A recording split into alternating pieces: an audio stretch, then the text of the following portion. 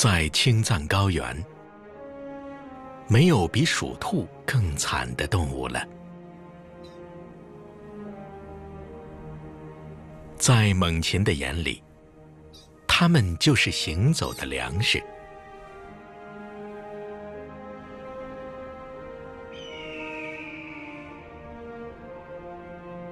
在一些肉食动物看来，它们就是移动的开胃点心。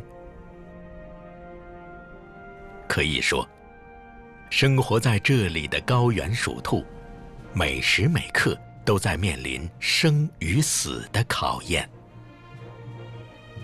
为了生存，高原鼠兔掌握了挖洞的好本领。它们尽可能多的在草原上。挖出数量众多的洞穴，少量的洞穴是为了居住，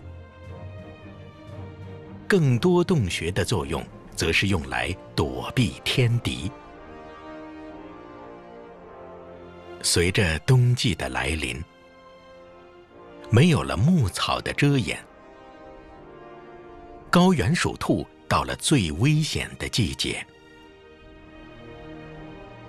应对危险，就是挖出更多的洞穴。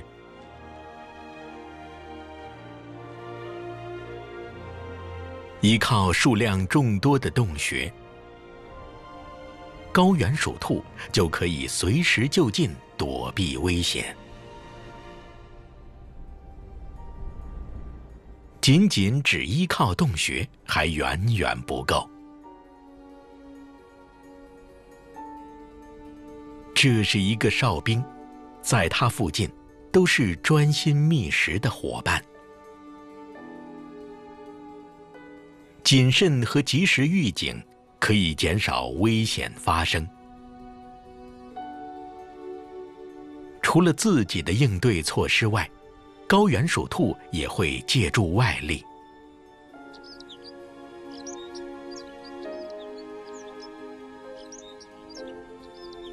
鹤背拟地鸭，这是一种喜欢穴居的小鸟。它们不具备任何挖掘能力，只能利用其他动物的巢穴栖身。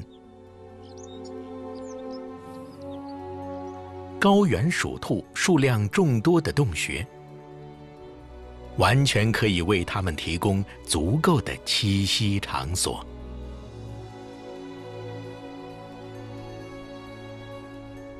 经常站岗放哨，是拟地鸭对高原鼠兔的最好回报，让高原鼠兔的安全形势得到明显改善。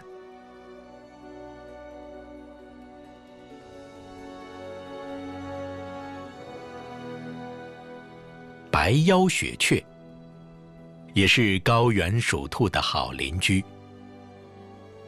它们共同在一片草场上生活，同类之间会为食物而发生争斗，